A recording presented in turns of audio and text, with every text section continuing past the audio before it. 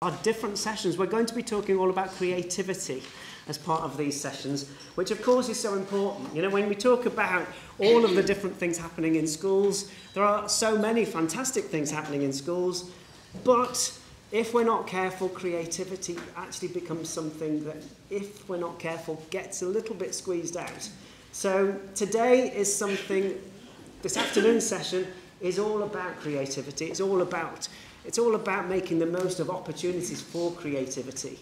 So we've got two sessions for you.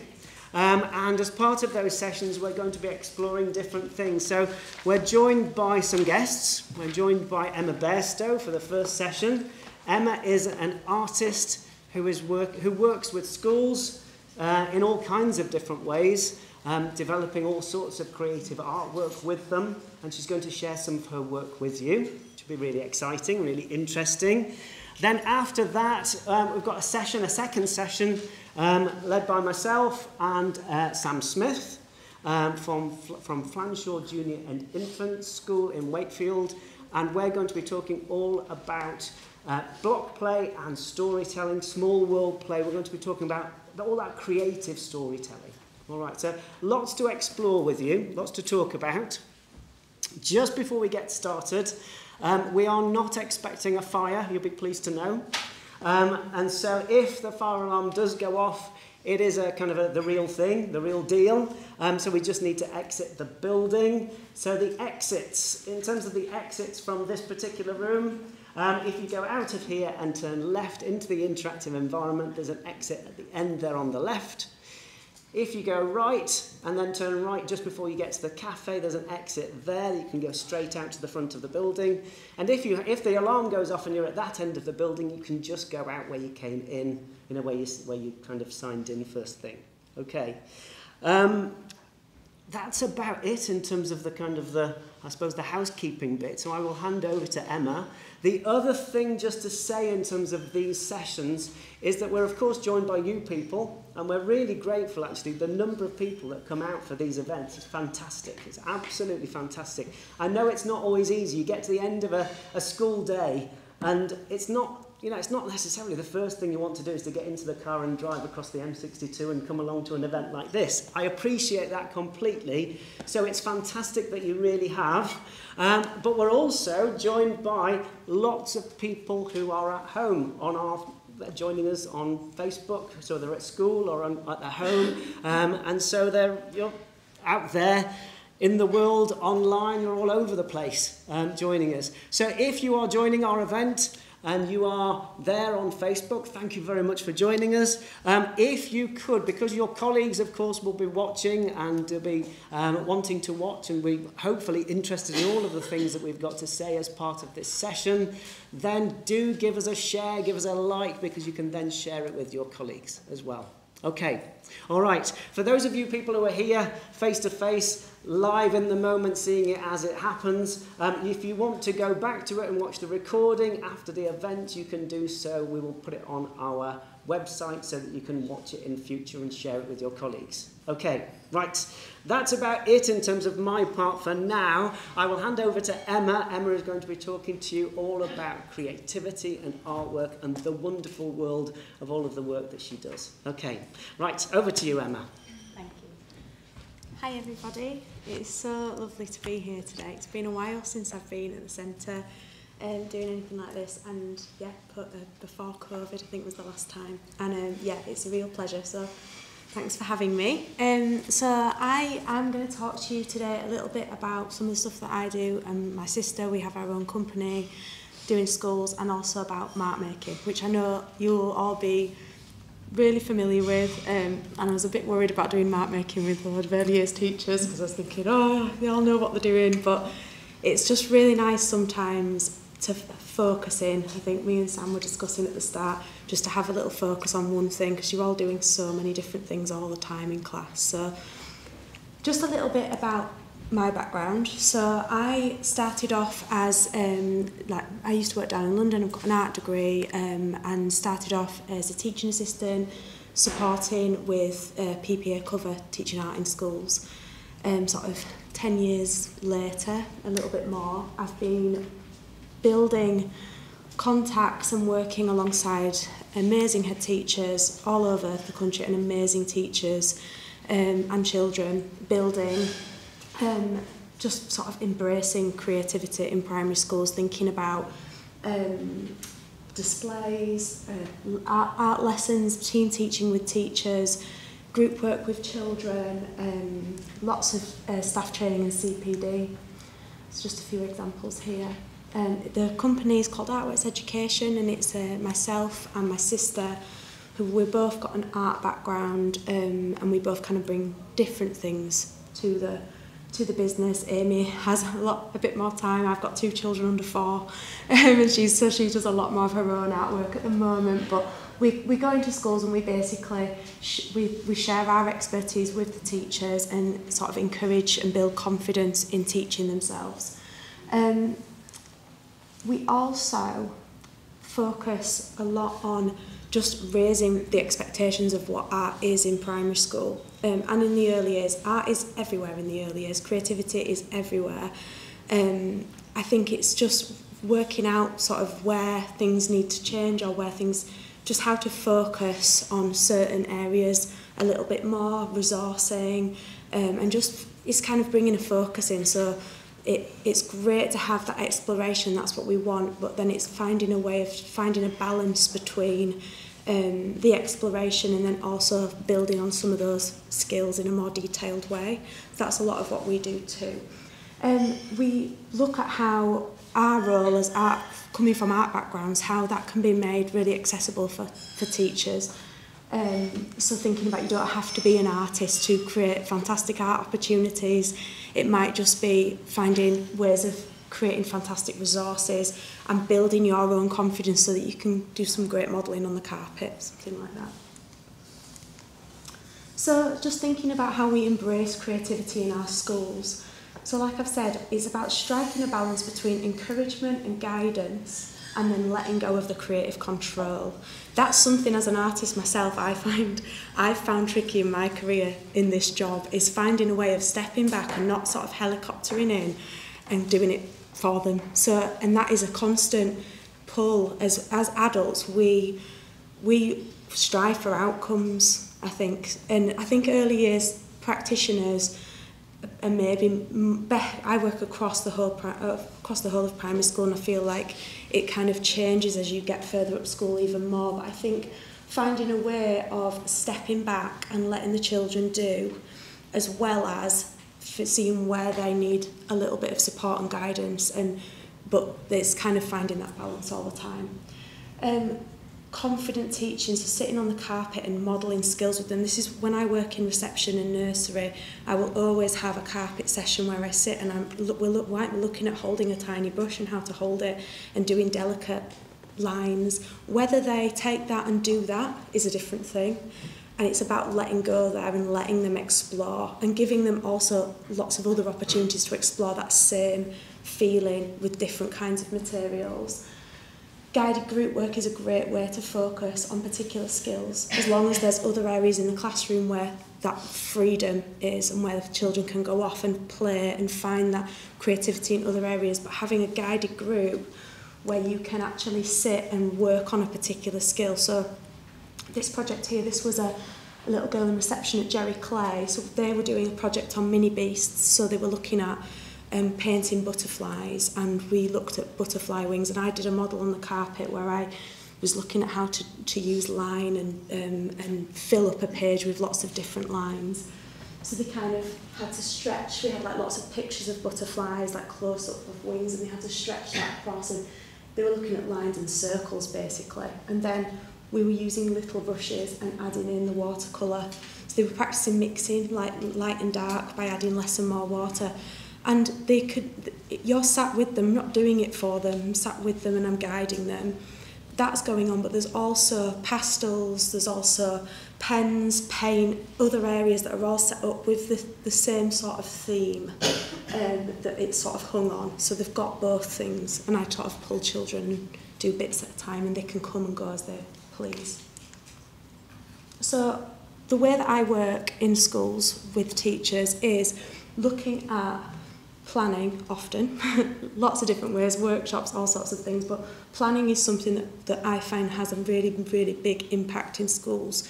So I will go in, my sister will go in, and we will work with teachers in early years and throughout primary school, thinking about a sort of a, a six-point plan, like a half term's worth of of art lessons and how to get from A to B. In early years, it's a bit different from that. You can't plan like that because things just go where they go. And that's really, really important that it does that and the children find their outcomes naturally. But having what one thing that I give to early years teachers or we work together to find is like an overriding theme for each half term. So if you're doing fairy tales, like this school was, we actually just took the forest as a, a lot of their settings for their fairy tales was ba were based in the forest. Rather than trying to do specific fairy tale projects we just took the forest as a theme for six weeks. And they explored it in so many different ways. So they looked at these this series of lessons I did with them. This was at Delta um, at Southmere Primary part of, in Bradford part of the Delta Academy Trust So we looked at observational drawing as a starting point, looking at stretching your hand right up from the bottom of the page to the top. And then they looked at mark making, so making brown using different materials and the different colours and different materials to drag the colours together. And then they took those drawing tree skills and just started dragging them. And that happened without me telling them to do that. They were just doing it. And it was, oh, we've made a tree. And it was stretching it up. And the teachers then took it in a sort of just carried it on. And they then, over the next few weeks, looked at rubbings, they did all sorts of different kinds of painting techniques and all sorts. And it was just amazing to see how the project developed. So with, when I'm working with early years in school, we'll look at a theme, we'll look at what kind of skills are they exploring through that theme, what do we want them to be focusing on, how can we encourage that in the best way. We'll look at um, what are they practicing and repeating and developing and building on. And then what outcomes may come from this. So you can't sort of preempting halfway through where, it, where it's going. Um, and then how can we showcase the learning journey? So we want to create a record, we want to celebrate everything the children are doing from the mark making to any outcomes that might come from that. So thinking about mark making, um, there's so it's well absolutely fundamental. It's a human instinct to make marks. It's absolutely primal. Um, children can make marks before they can speak. Um, it's the first one of the first ways of communicating. It's not only supporting communication, but it's building the muscles to write, um, and then also as adults reminding us how to play and be free. What I mean by that is when, when I, I don't know if any of you have done a GCSE or A-level art at school, and it's very particular. You are trained or you are taught to paint in a specific way, which is often trying to create a photograph-like image of something. It's really tricky to do well in GCSE or A-level art if you are not good at painting in a photographic way, but that isn't what art is. So when I did my A-levels um, and I went to my, I was lucky enough to do a foundation at Bradford College, the first thing that they made us do was do a whole week of drawing and painting using potatoes and and all sorts of other things that we could find. We weren't allowed to touch a pencil or a paintbrush for a week and we had to do all these different projects but we had to use anything but and it was amazing. It was so freeing coming from uh, a school that where he'd been kind of told you were good or you were bad, depending on how you drew or painted. Um, it was really freeing. So I think there's something really powerful about bringing mark making throughout school, and it starts in the early years, and it's celebrating that in such a such a big way because it is amazing, and they learn so much from it.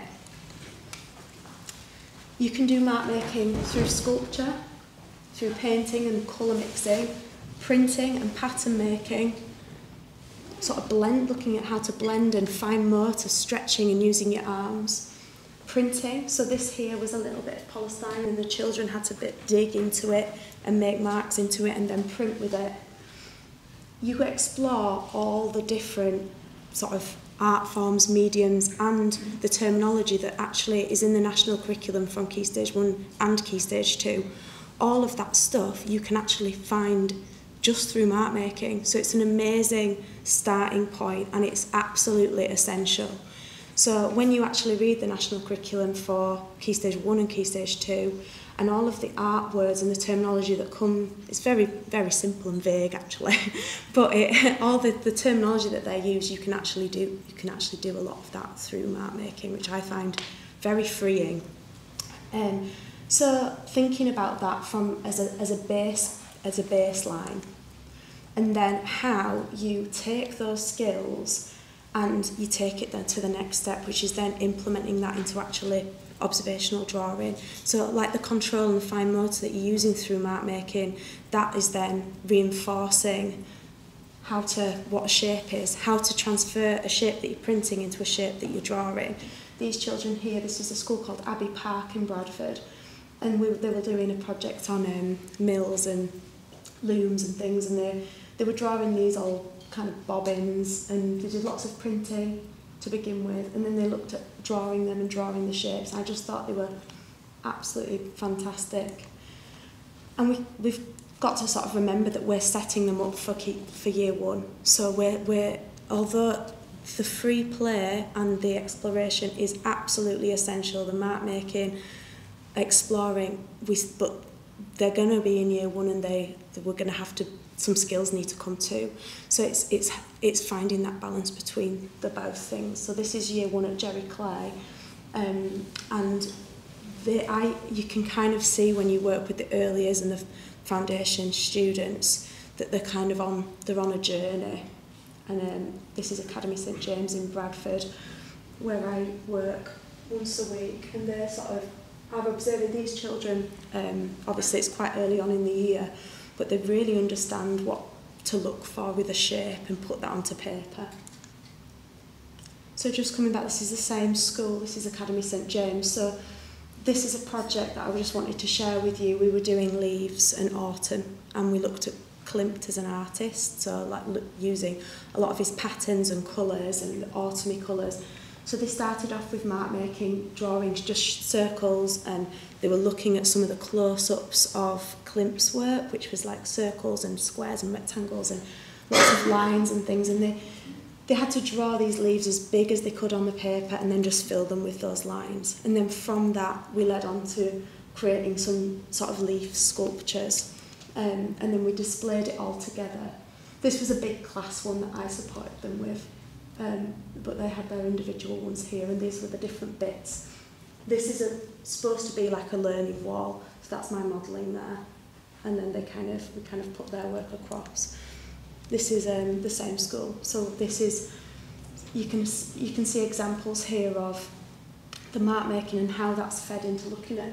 We do include an artist as well, so not always, but I think having artists brought into their um, their projects is really really good to get them thinking about art outside the classroom and other people that do it. So they're using mark making lines, dragging shapes, and then they're putting them into some drawings, and then they had to make these landscapes themselves. And it was kind of like a, a process of working with small groups of children and, and doing mark making, and then coming back the following week, and we were sort of building on it and building on it week by week. Okay, so this is just an example of some other kinds of mark making. Some of the stuff you've probably done, you might have seen, but I absolutely loved sort of seeing this happening. I didn't do this with them. The teacher did this with them. They used a, a spinning clay wheel. They put paint on it and they spun it and it created these amazing patterns. And then this CD one's nice as well. So thinking about, uh, this was a project called Move It and this was exploring fine motor. And um, they, they basically just sort of created these Kandinsky style circles. So Today is designed to be a bit of a taster session. Um, I'm going to be delivering a full day's session which is going to be way more practical in March which if anyone hopefully you will you'll all hear about that at some point when it starts when we advertise it. But um at the moment what I wanted to just share with you is some of the things that we'll be focusing on in more detail on that day. And if we had more time today or we had a bit more room we might do some of this today. But thinking about looking at line, exploring drawing in a different way, so experimental drawing, thinking about creating tools to draw with that are longer, uh, you know, drawing at different angles, lying on the floor and drawing under, like, putting things underneath the table, things you've probably all done before. Um, so we'll be looking at line, we'll be looking at pattern, we'll be looking at, sorry, it's in a bit, making our own selection of different kinds of mark making tools, things that you might not have done before, and exploring colour and drawing through that. So taking, we're, kind of going to be focusing on the bit between the mark making and the drawing and how to get from that point to that point, if that makes sense. And we'll look at colour as well through that. Um, if anyone wants sort of to follow me on Twitter if anyone's inspired by anything that you've seen um, or wants to give me an email for any ideas or anything at any point. Love to hear from you. Um, thank you. That's all for today. Very good. Big round of applause then. Um, I followed Emma actually on Twitter just recently, and it's, well, it is well worth if you are on Twitter and uh, you are looking for somebody to follow in terms of lots of ideas, in terms of creativity and the work that she's done in schools. I would certainly recommend it. There are there are loads of things on there on on um, on social media that Emma has shared that are absolutely fantastic. Okay, right. So, um, as Emma said, she's going to come back and do a session for, for us later on in the year. So, do watch out for details around that. What we're going to do now is we're going to have a short break. Okay, then what we're going to do is we're going to come back and have uh, a session that is led by myself and by Sam Smith all about creative block play and around, around creative storytelling. Okay, so if we could come back into this room in uh, 15 minutes time, if that's all right. So go and have a bit of an explore of the centre, go and have a bit of a wander around, lots of different things for you to see, go and have a bit of an explore. If we come back here at five to, uh, well, I'm gonna, I was going to say five to six, five to five, please, if that's all right. Come back here in 15 minutes time and we'll go from there. All right.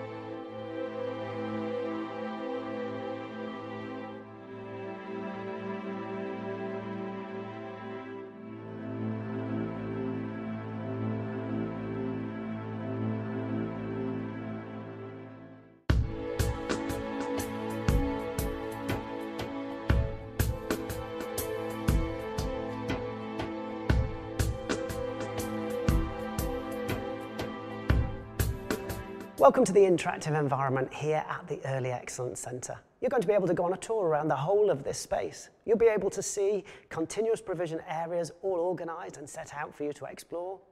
And you'll also be able to see enhanced provision areas too. So different spaces around, around the classroom, different enhancements. As you do go about your tour, have a think about the whole of the space first of all, the structure and the way that it's organised and how those zones have been created. Then look in detail at each different space in turn.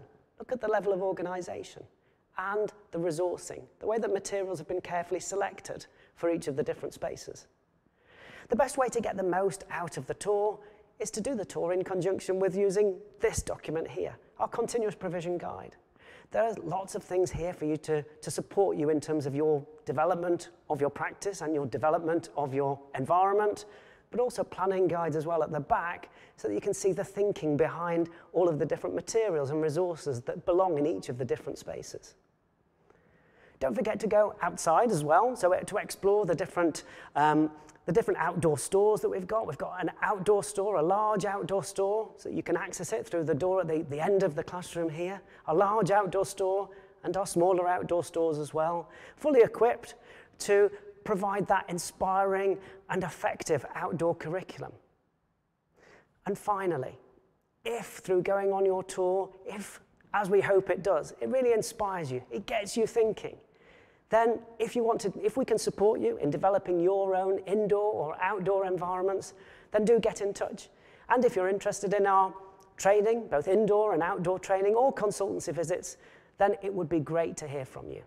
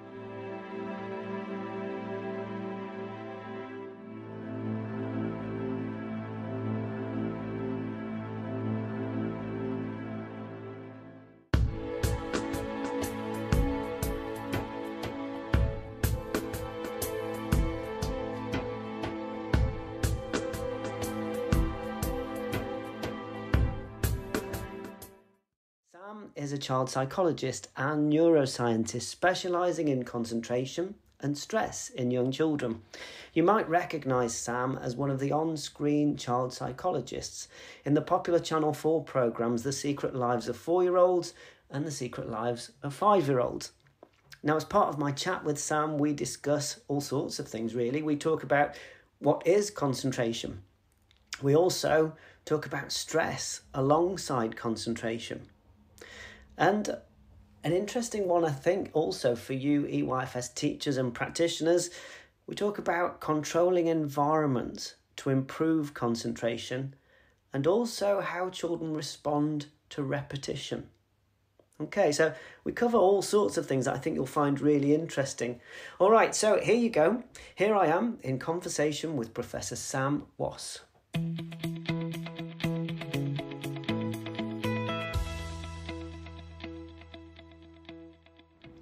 So I'm uh, Professor Sam Wass, and I'm an expert in um, uh, early years development. So we start really with babies, going through to you know reception year one, um, and the main focus of my research is looking at stress and concentration and the relationship between the two and how they develop through the first few years of life.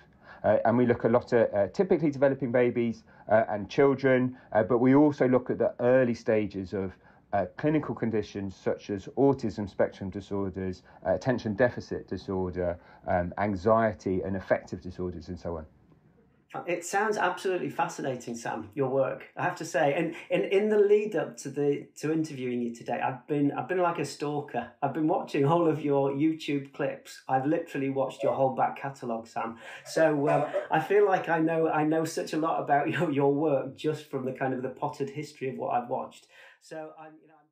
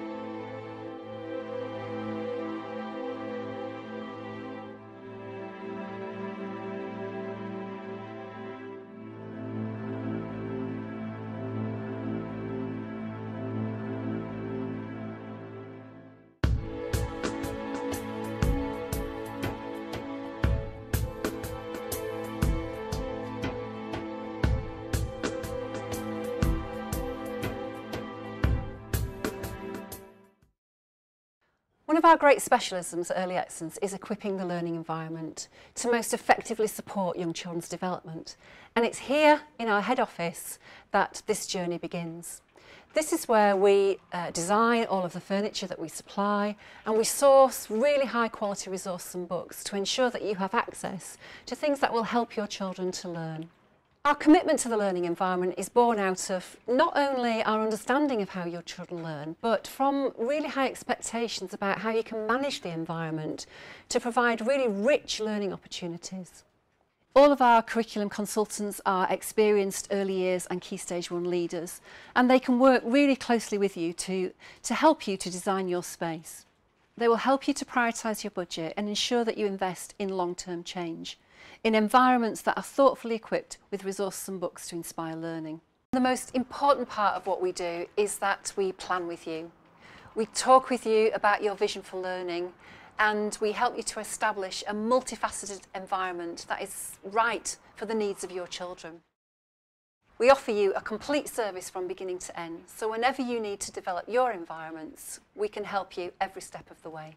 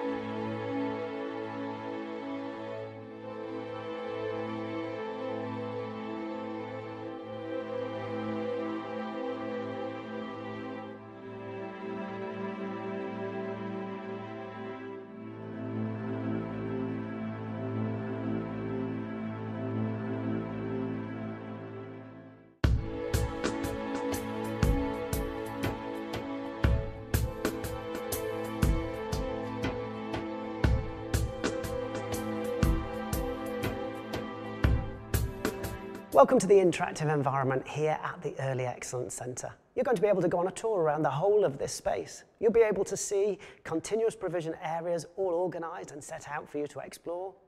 And you'll also be able to see enhanced provision areas too. So different spaces around, around the classroom, different enhancements.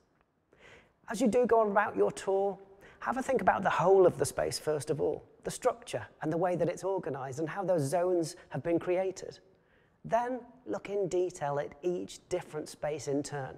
Look at the level of organisation and the resourcing, the way that materials have been carefully selected for each of the different spaces. The best way to get the most out of the tour is to do the tour in conjunction with using this document here, our continuous provision guide. There are lots of things here for you to, to support you in terms of your development of your practice and your development of your environment, but also planning guides as well at the back so that you can see the thinking behind all of the different materials and resources that belong in each of the different spaces. Don't forget to go outside as well, so to explore the different, um, the different outdoor stores that we've got. We've got an outdoor store, a large outdoor store, so you can access it through the door at the, the end of the classroom here, a large outdoor store, and our smaller outdoor stores as well, fully equipped to provide that inspiring and effective outdoor curriculum. And finally, if through going on your tour, if, as we hope it does, it really inspires you, it gets you thinking, then if you want to, if we can support you in developing your own indoor or outdoor environments, then do get in touch. And if you're interested in our training, both indoor and outdoor training or consultancy visits, then it would be great to hear from you.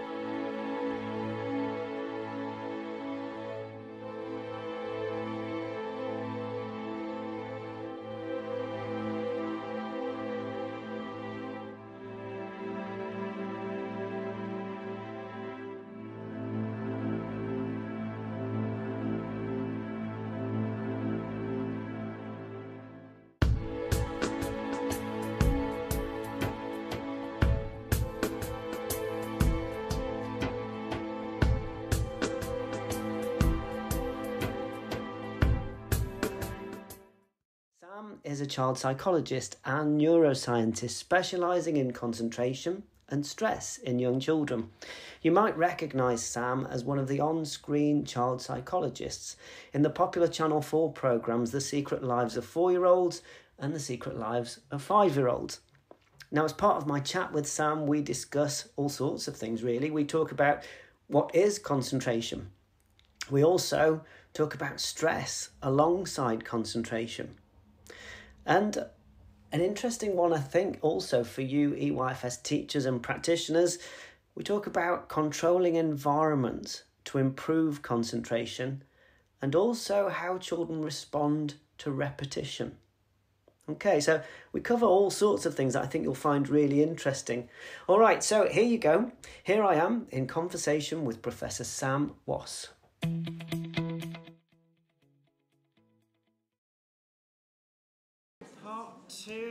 Of our uh, of our of our sessions this. Uh, I was going to say this evening, this evening, kind of this afternoon, this evening. Um, all about, we're talking, of course, all about creativity. We've got off to a flying start with Emma, talking, of course, all about fantastic artwork, about mark making, about all the different sorts of things that, you, of course, you can do with your children at school. Um, if you want to know more about Emma's work, then do come along to the sessions that she's going to be running here at Early Excellence later on in the year.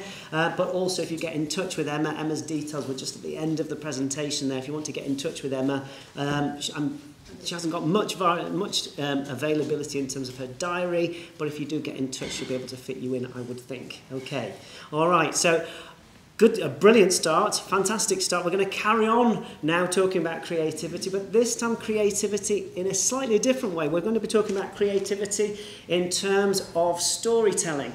So, storytelling, of course, incredibly important. Um, I often find when I work with schools that we often rush into getting children to write stories. And of course, writing stories is, is a fantastic thing, and it's something that we're aiming to do. It's something that we're really, uh, of course, that's the end goal, if you like, in terms of what we're aiming for for those children. But when we think about young children, young children will naturally want to tell stories. They are, they are absolutely um, brimming with stories. They are so full of stories. They'll want to tell stories. They love telling stories and they love you telling them stories.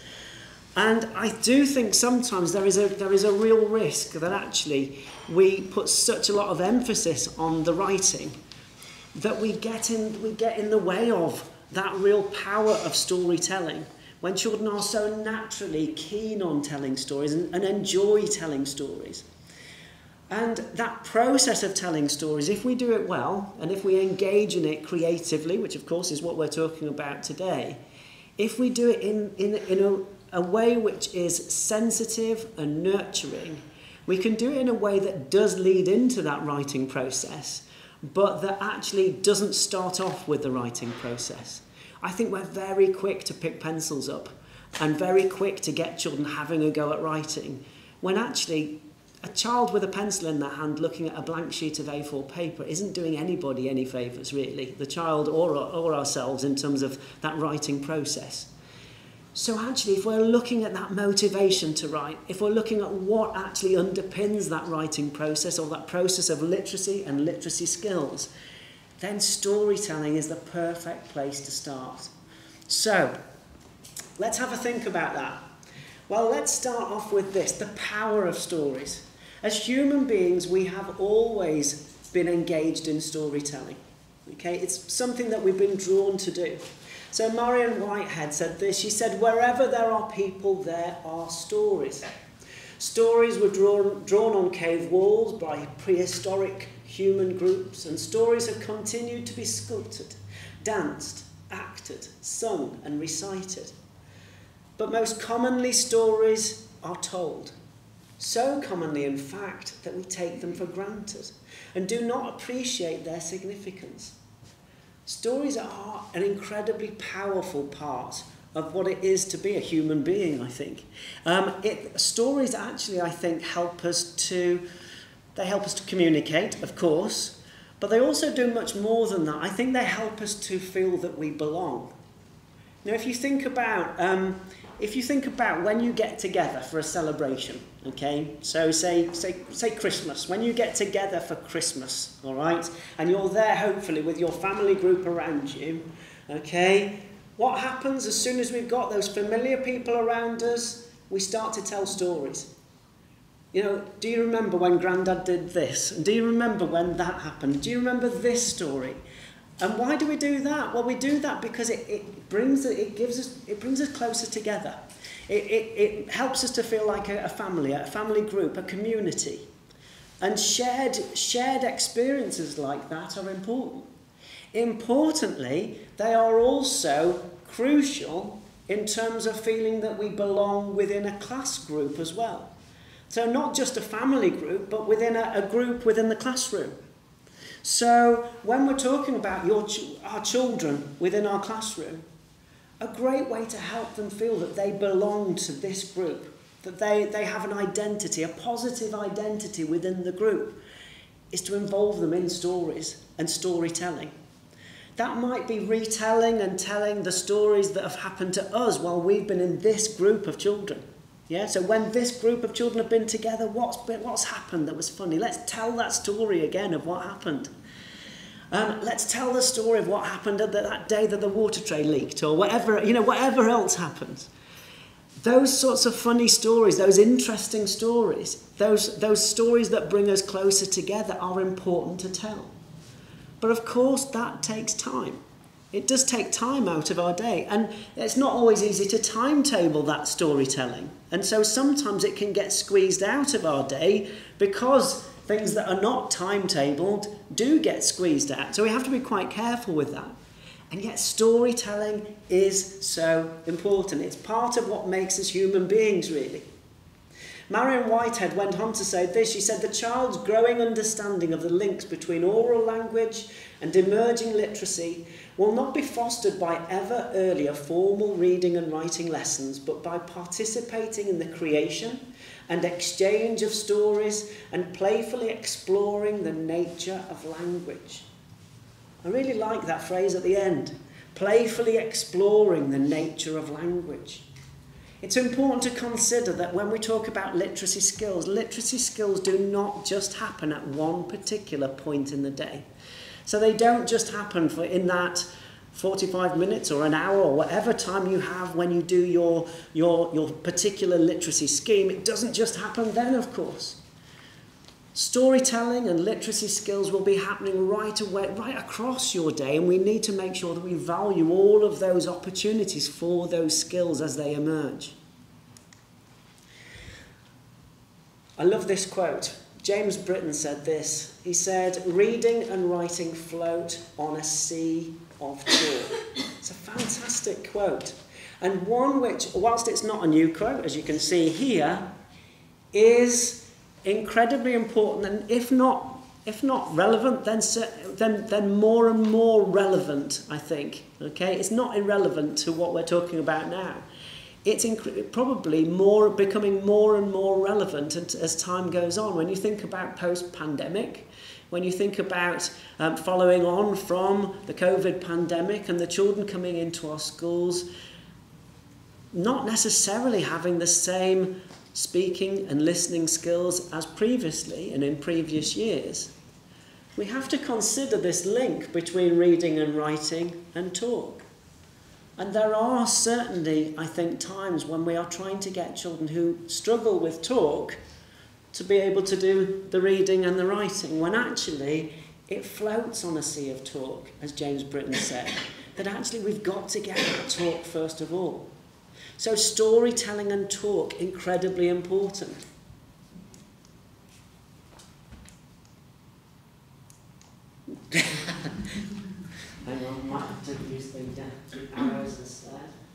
There we are. If you would like further reading on this, um, I would certainly recommend this book. Um, I interviewed um, uh, Trisha Lee for the podcast, the Early Excellence podcast, just recently. And Trisha was absolutely fantastic. The episode hasn't gone out yet, it's going out in a couple of weeks' time. Um, she was talking about this book. She's absolutely fantastic.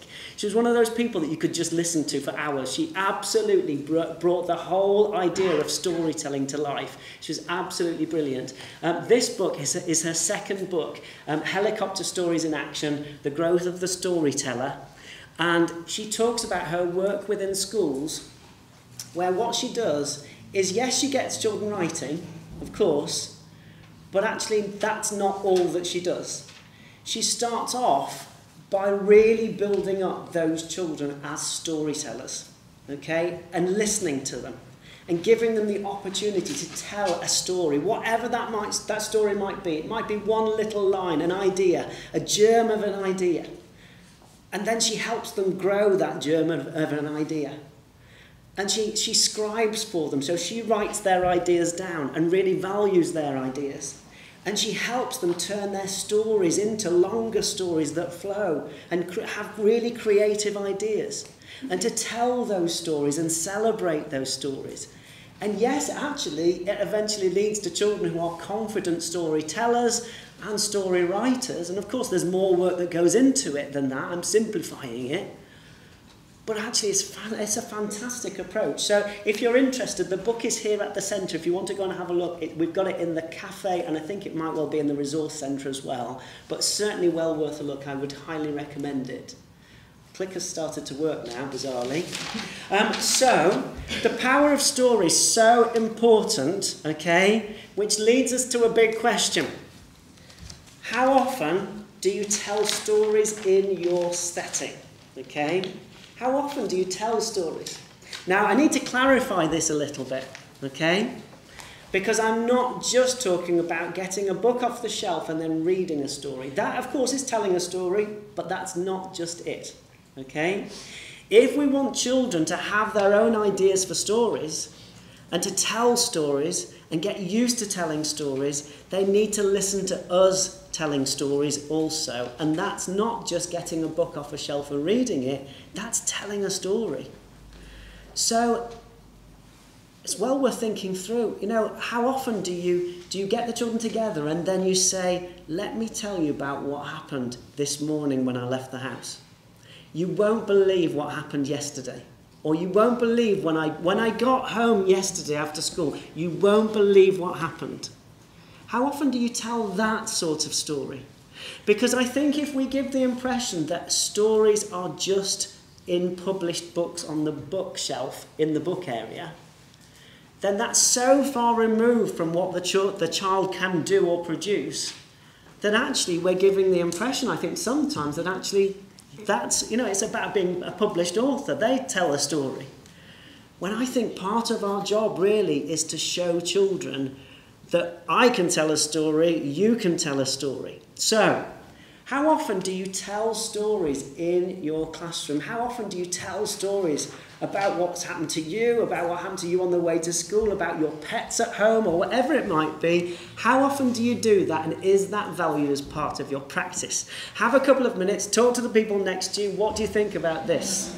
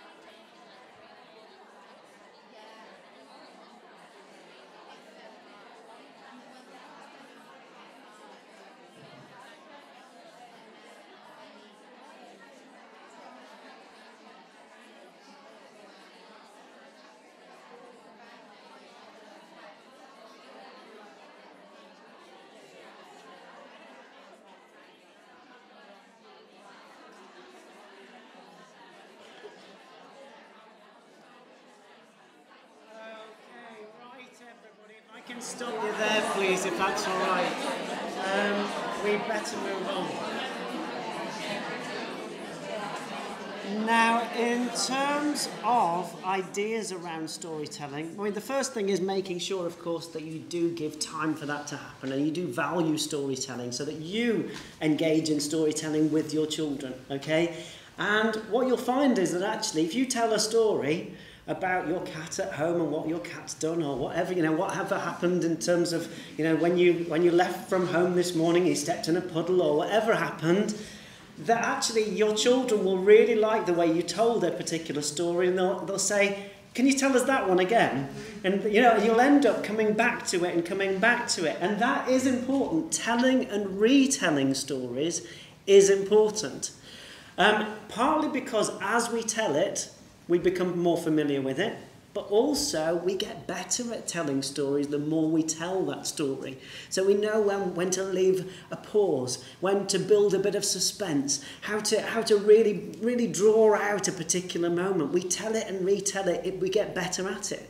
And it's of course the same for children. If we model that, then actually telling and retelling stories is important.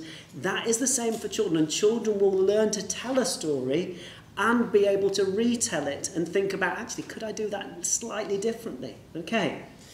Um, quite a, a good way of doing this and getting into the habit of, of doing this is to have a have a basket or a box or something like that at the front of your room. Could be just a simple shoe box or something like that. So just somewhere near to where your carpet area is. And each time you have a story that you tell or each time you have an experience together Gather one object that represents that experience or that story and put it in your story basket or your story box or whatever you want to call it. Okay, so it might be that you go on a, a might be that you go on a school visit, or you go to a local park, or you you go to a farm, or whatever it might be. Have one thing that represents what it is that you did. Put it in the box, and let's retell the story of what happened when we went on that visit. Do you remember what happened on the coach that day, or whatever it might be? Yeah retell that story, and this will help us to remember that story, this object. So, putting together a simple story basket of things that represent a story, I think it's quite an interesting idea. Okay, right, so we've, we've already established that stories are important, that stories are a, a fantastic, natural way into those opportunities for reading and writing. That, that, of course, reading and writing float on a sea of talk, as we talked about earlier on.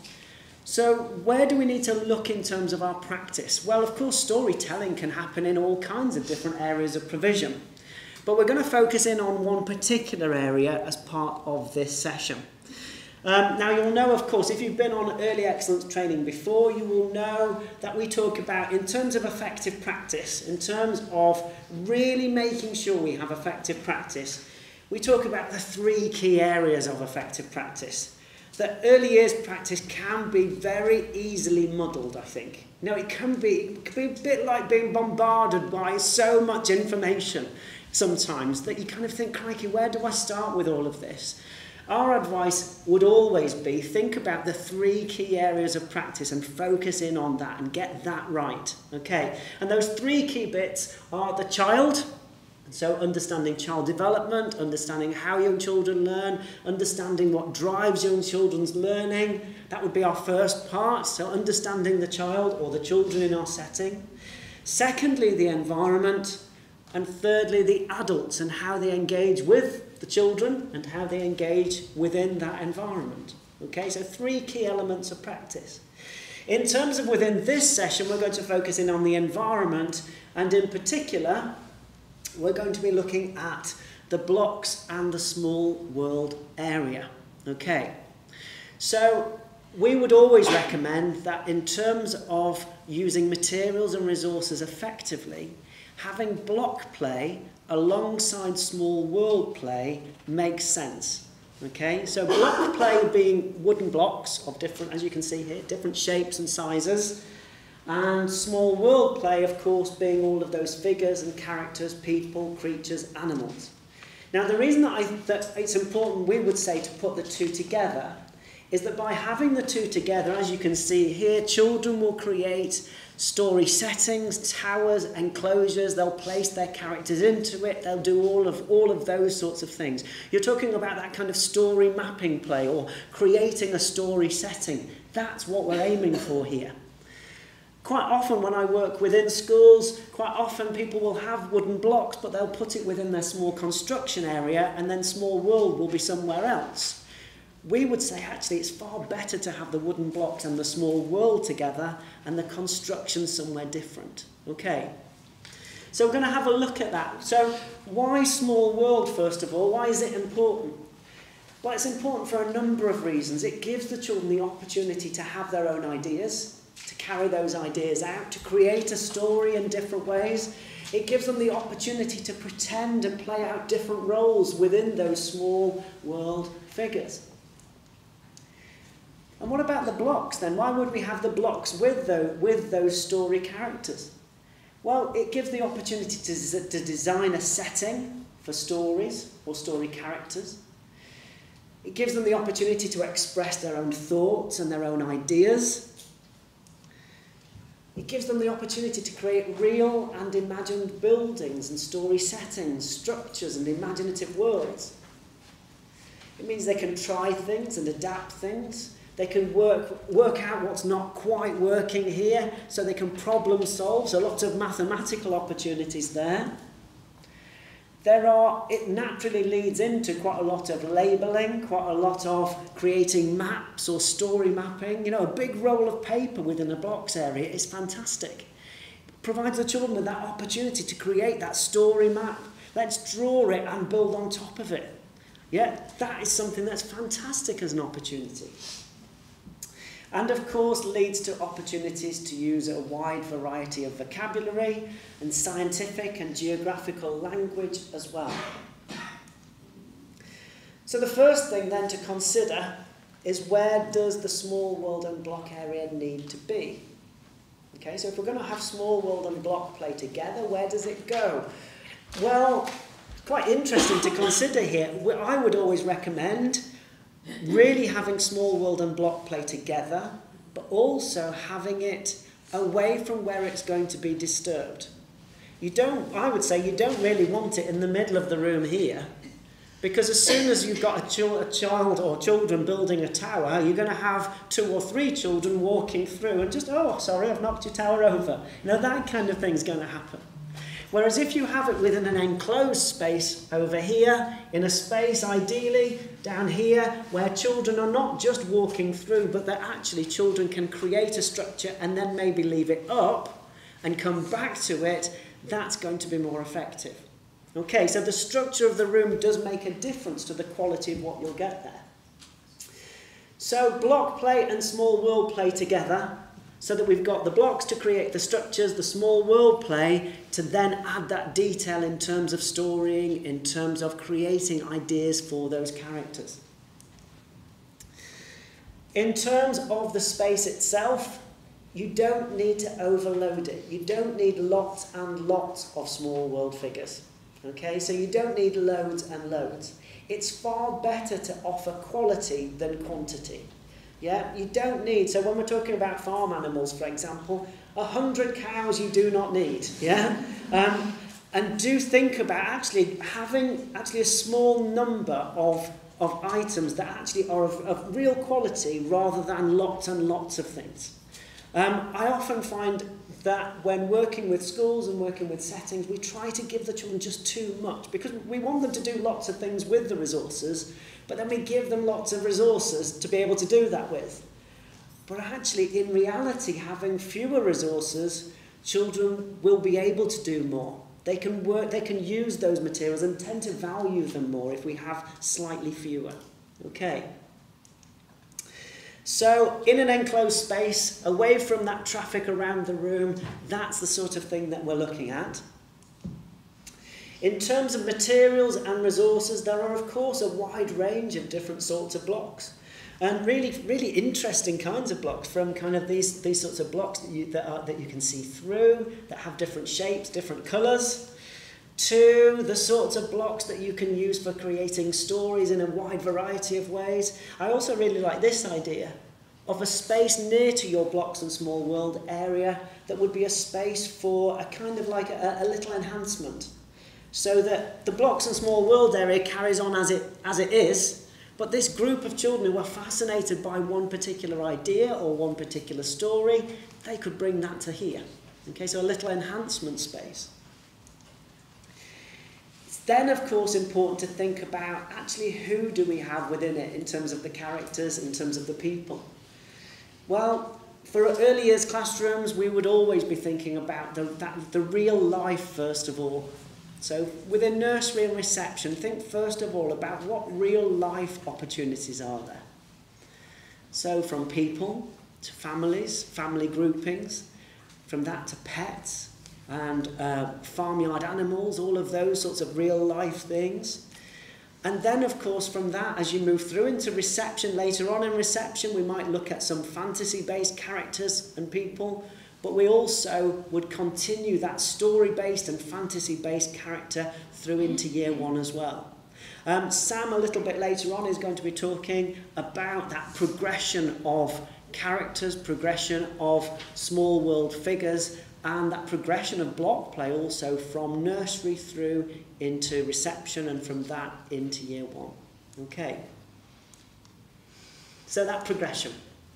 There are also a wide range of textures to be explored and experiences to be explored from blocks like this to exploring, uh, explore, exploring different contexts. So this little girl here was uh, amazed by horses, loved horses. On a, on a walk to school on a morning past a field of horses, would always turn up to nursery talking all about the horses that she'd seen. So they used a little enhancement space within the room so that what they could do there is they could encourage this little girl to tell the story of what she'd seen and what the horses had been doing from that, that to open-ended opportunities of having figures and characters that aren't anybody in particular until that child decides who they're going to be. Okay, now sometimes we don't value this enough, I think. Sometimes we see this as not challenging enough. That it be, they kind of end up being kind of resigned to the, the kind of heuristic play basket for much younger children. And of course, they're useful for that. But they're also extremely challenging too. If you have materials like this within your setting, then you're actually saying to the children, this isn't anybody yet. You decide who it's going to be. And we can talk about actually, can we, can we use some tissue paper to make a cape if it's going to be a superhero? We can, we can develop that character then. Okay, so sometimes the simplest resources can be the best ones. And don't forget also props and scenery and natural materials. It's often something that people will forget. So things like pieces of material are brilliant, creating a seascape or creating, creating all sorts of different, different textures or different opportunities. Natural materials, even things like sticks or, or gathered materials, particularly at this time of year, are perfect for creating story settings. So if you do go on a walk with your children, gather things up. Can you bring things back to create story settings back at your own setting?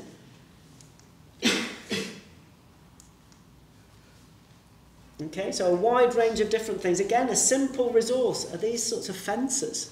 Children will often want to, to enclose what they're playing, you know, when they're playing. So they'll want to create some kind of enclosure, and pieces of fencing like this are fantastic for that. Okay, um, I added this photograph in. This is from um, uh, a setting in Leeds. This was from Oakwood Academy um, in Leeds. Uh, Co-op Academy, sorry, um, which is at Oakwood in Leeds.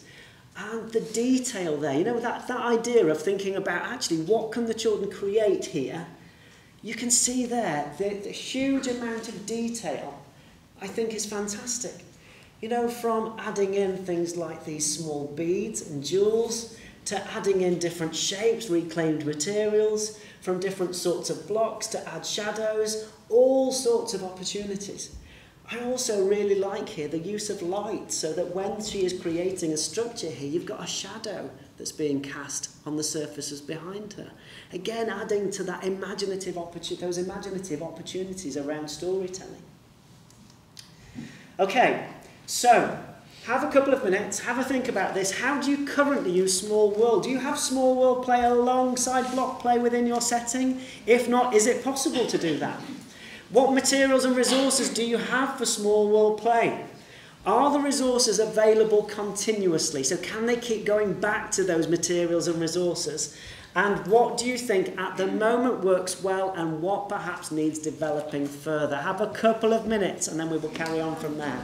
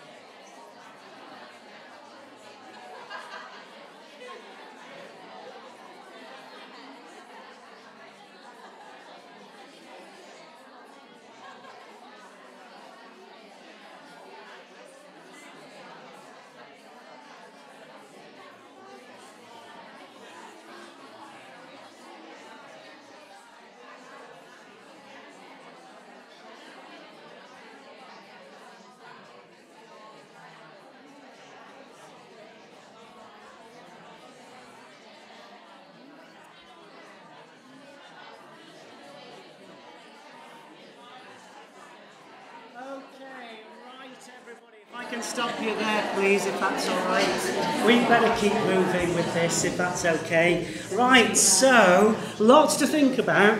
Of course, all of that thinking in terms of what you're going to offer, in terms of you know, material, or in terms of natural materials, or in terms of the, the small world characters that you have, or the different blocks, and how you're going to organise it, all of that kind of thing. All of that thinking is, of course, planning.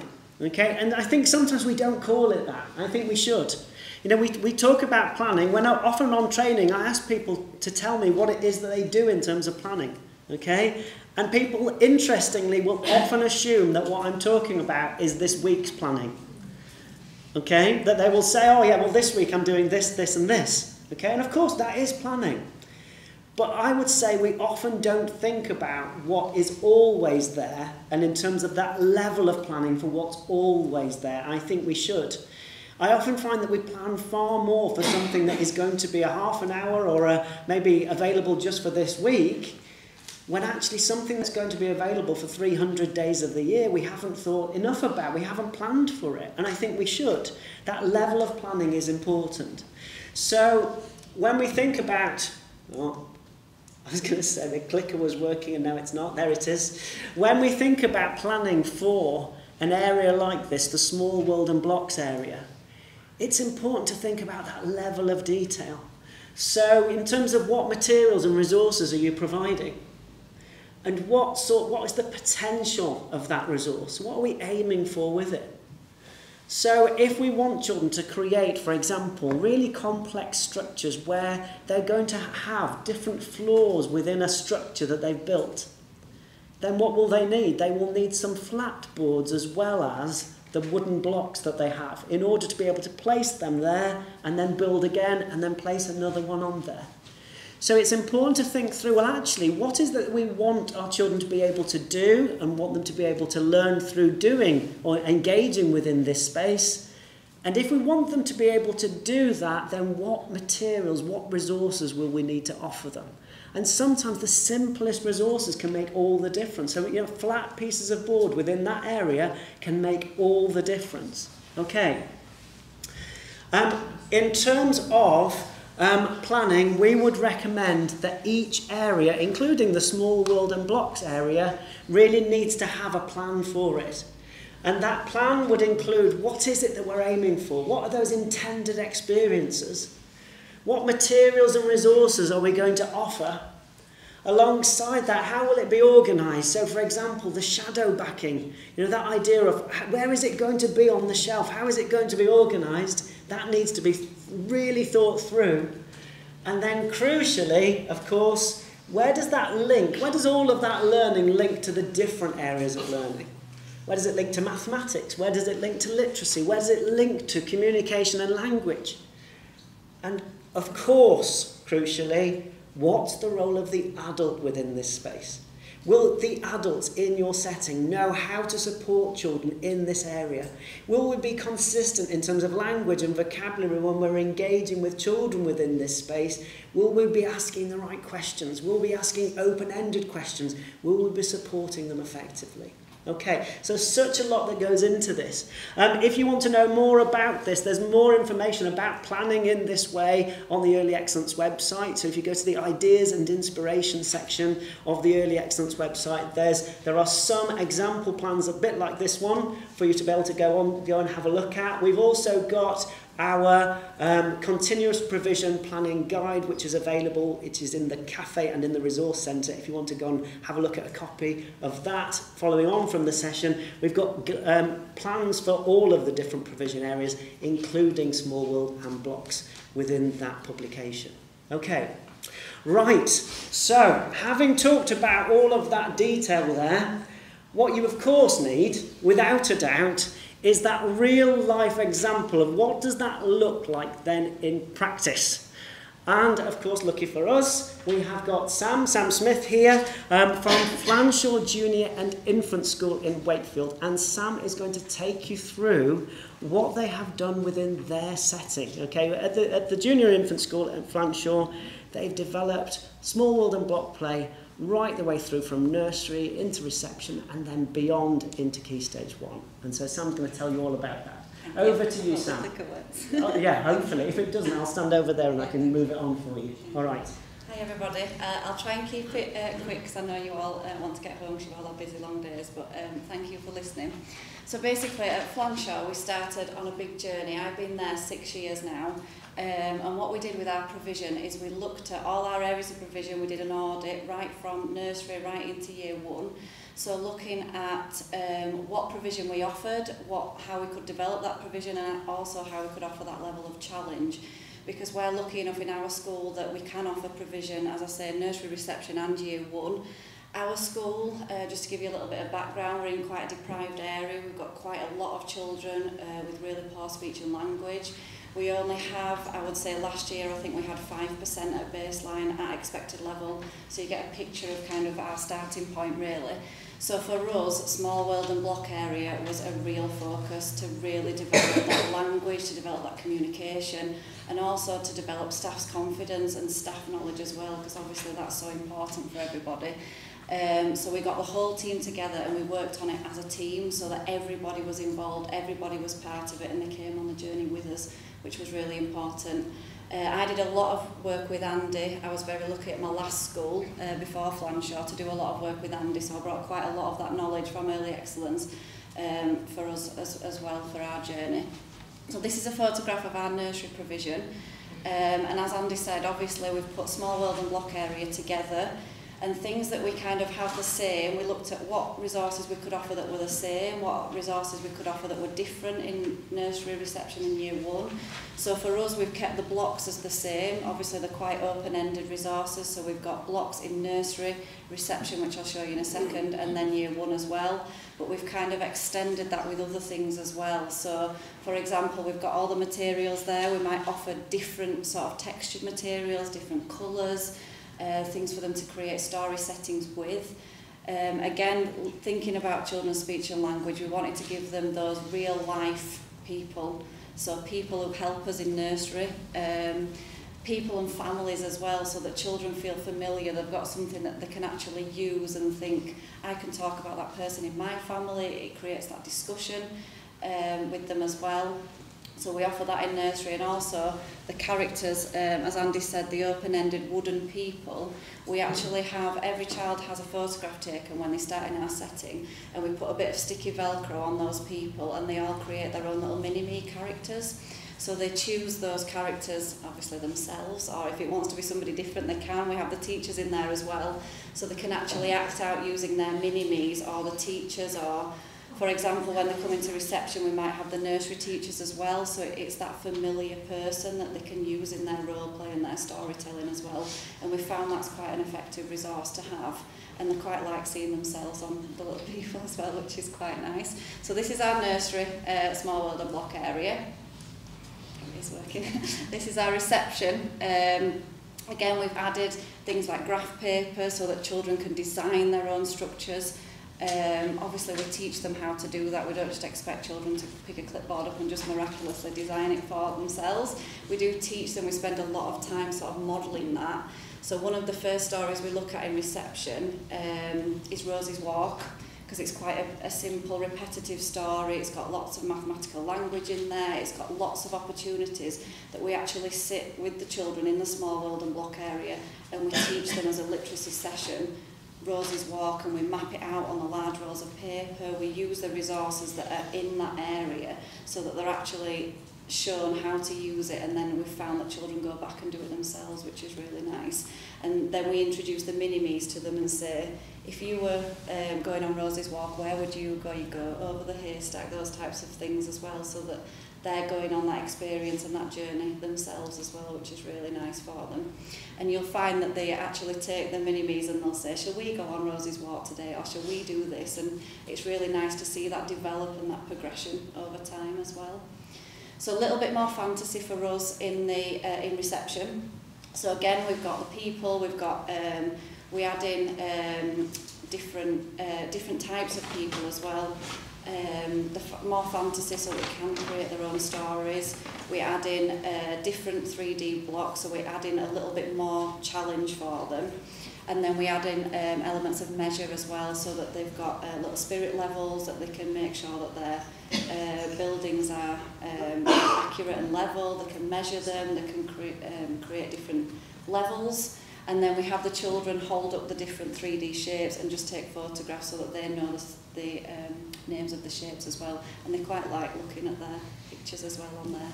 And all our children do all of the uh, display labels, so we get the children to write themselves, so they're part of the labelling. So all the photographs of them are obviously not there beforehand, and we get them involved in setting up the area as well and adding those labels to it, to the areas.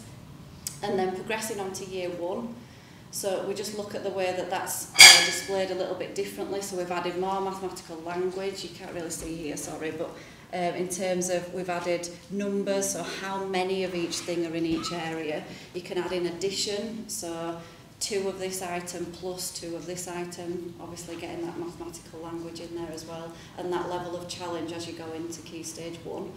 Uh, different types of blocks are more storytelling, sort of wooden blocks in there, the mirrors we add, So just thinking about how that can progress from nursery, being a little bit more um, basic to obviously the level of challenge in year one.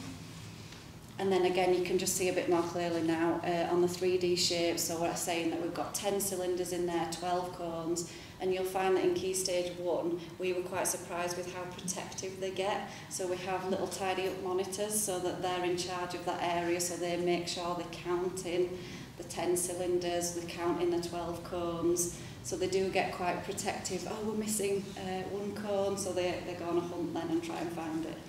Um, so it gives them ownership as well of their classroom and they're very aware of what belongs where. So we found it's been really effective and we found that it's developed a lot more mathematical language, a lot more mathematical thinking in there alongside obviously their communication as well. So this is a, an example of a child that's just started with us in nursery obviously never been in our setting at all before. And just having those open-ended resources and just allowing him to explore the different textures, the different levels, the different things that uh, we offer, he's just created his own structure and then an adult sat with him then and developed adding the characters, adding the people, where could they go, what could be happening, um, and giving that level of, of um, challenge for him as well. So moving on, I teach in reception, so there's a lot more things about reception, obviously, because um, that's my first-hand experience of things I've done. So we did um, a photo opportunity with Early Excellence. They came in with the cameras and just actually observed what our children were doing, how they were using the areas. You can see there that the boys are using the books, so they're actually thinking about what they want to create from the books we're providing them um, and thinking about their interests as well. So this little boy had just been in the six-week holidays, he'd been to uh, Royal Armouries Museum, so he was fascinated by it. So we, we tried to link the books and the experience that he'd had into the small world and block area. And he was just so fascinated, he went back for weeks and weeks and created different things, which I'll show you later on, um, in that area. And just to see how that progressed was amazing.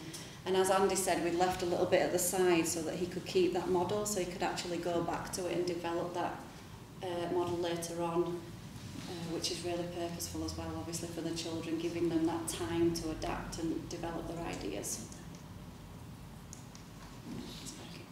Uh, so giving them obviously implements that they can draw. So we've got the graph paper, we've got the rulers, the clipboards, and having them just think about how their model is going to look before they actually, so it's that planning process as well, before they actually build a model. Instead of just thinking, right, I'm going to put these blocks on top of each other, which a lot of our children did initially, it, it's talking to them about what do you think you'd like to create, showing them those books, showing them photographs, showing them different things that they might want to create, talking about their own experiences, where have they been, what would they like to make, and getting them involved um, as a group. So this is Zach, who I say has just been to um, Royal Armouries Museum. He wanted to recreate things that he'd seen. He wanted to recreate his own experiences.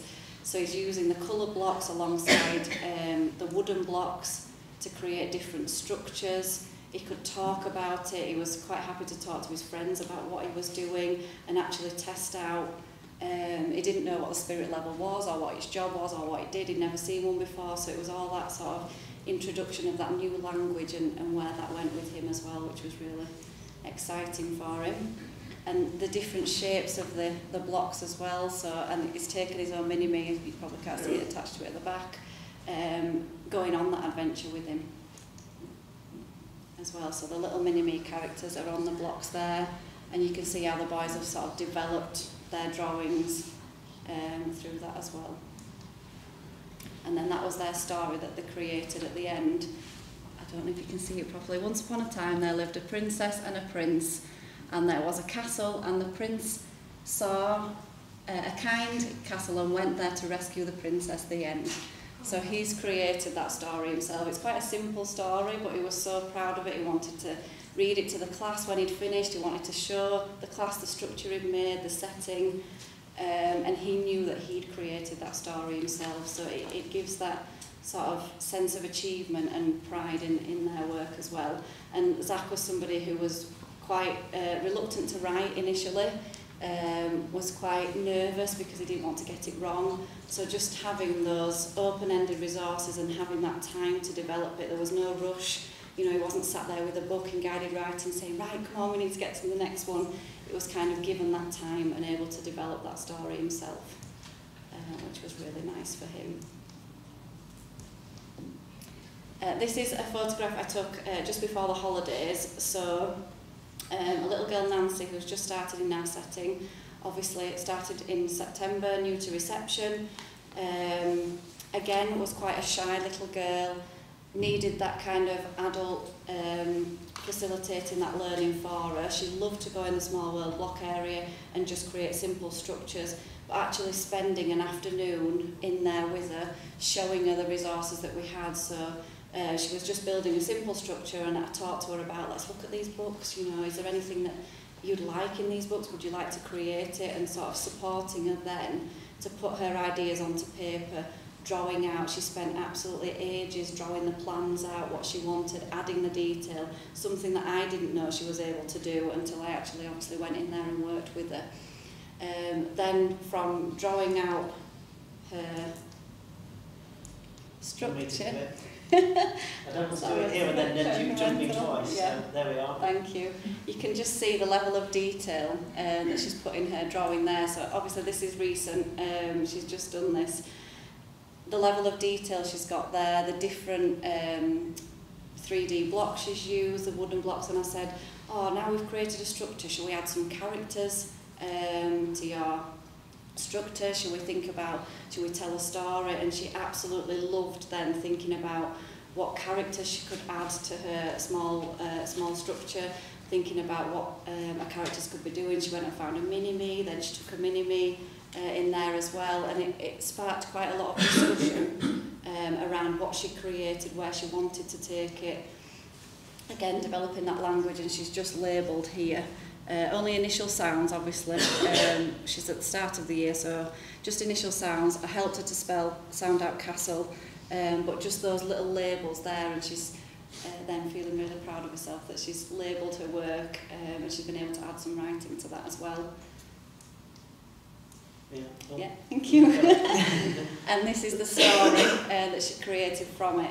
Now, it's a story that I scribed for her because I didn't want her to be put off by saying, right, you've got to now write a story because she would have just got up and left and not wanted to participate. So we kind of thought about a story together and I said, oh, shall I write it down so that we're becoming authors together of your story?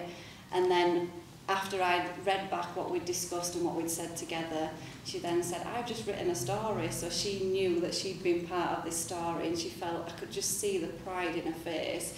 And she went and told a friend and she asked me to read the story again to a friend. And then she retold the story in her own words, uh, what she created and used the little characters in her uh, structure to retell that story, which for me was a real achievement for her being quite a shy uh, little girl. And I didn't know she had those um, abilities until I actually spent that time um, and worked in there with her. So once upon a time there lived a little fairy in the castle. The fairy was scared of the witch The witch wanted to put her into jail with a spell to turn her into mice. Oh no, she said, and I thought I'm adding those words as well so that she, she's obviously feeling like she's told the story. Um, the witch was in uh, the top of the tallest tower. She looked out of the window to see if she could find the fairy. The witch was very angry. She saw the fairy escape from the castle. The fairy flew away from the witch. And then she ended the story with ever after.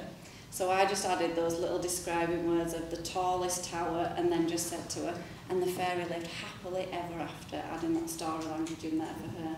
But that gave her such pride and purpose that with that simple structure she'd been able to then recreate her own story um, yourself. And just little things like that, spending that little time with them, you can really develop that language and that confidence to be able to do that themselves and independently. So for us, it's been quite a powerful journey uh, to go on and sort of develop children's confidence uh, throughout nursery right into key stage one. That's it. I've tried to keep you just before Very six. Good. Very well. Round of applause for Sam.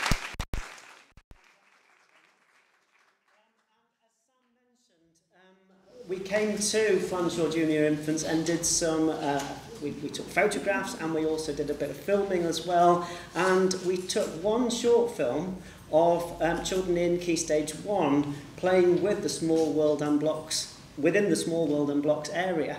Um, so this is a short film of the different things that those children do within that area. It's only quite short, um, but it's kind of speeded up so that you can see the progression of ideas. So what do you think of this? I mean, it's quite interesting, this is the last thing we're going to do, but quite an interesting thing just to see actually where do those children get to and what does that look like in terms of key stage one practice? So,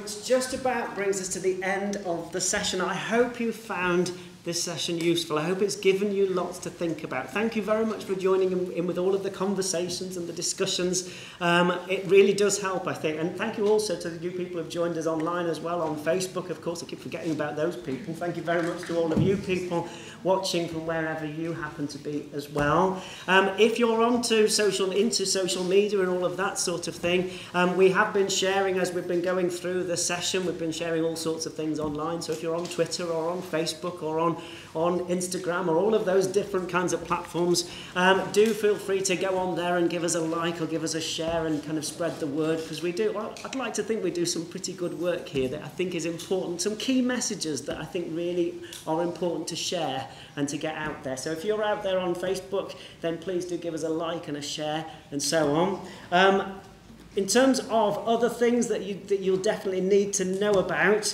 well, there's one, I think, really great thing, actually. Um, I don't know whether you noticed this. Those people who are here in the room with us, in the cafe, there are some free resources for you to take away. These are story bags, uh, number bags, and poetry and rhyme bags. They're free. If you want to go and grab yourself a pack, you can do that. I think there's a pack of five in each one. So, yeah, they're free. Go and help yourselves. Also, in terms of free things, um, we have our Early Excellence podcast, which um, is available um, on well, on Spotify, on Apple Podcasts, and all of the different platforms as well. Um, we do all kinds of different things. So I present the podcast. I interview lots of different people. In fact, I'll be interviewing uh, Emma very shortly for the podcast over the next few weeks or so. Um, well worth listening in if you haven't already. Also, there are loads of free things that are on the Early Excellence website, from blogs to the podcast to the planning guides and training videos. There's loads of free things. Just go to the ideas and inspiration section on the Early Excellence website. There's a drop down box. There are loads of free things on there. And if you want to get in touch, so if you're interested in us coming to you to deliver training or come to you for consultancy or just some support or a question or a query, then do get in touch. My email address is there, andy at earlyexcellence.com. That's me on Twitter, um, at AndyBurtEEX. Um, if you put into place any of the things, whether it be fantastic artwork that Emma was sharing earlier on and those, those creative approaches, if it was that or whether it's uh, the small world and block play that we've shared with you in this second session, if you put some of those things into place and you think, oh, do you know what? I really want an audience for this. Get in touch with me on Twitter and I will share it out there and we'll get lots of people seeing your fantastic work. All right. Thank you ever so much for coming along today. I know it's a big thing coming out at the end of a school day, as I said earlier on. Thank you ever so much for coming along. Lovely to see you. The centre is still open if you want to have a wander around. The resource centre is still open. But uh, yeah,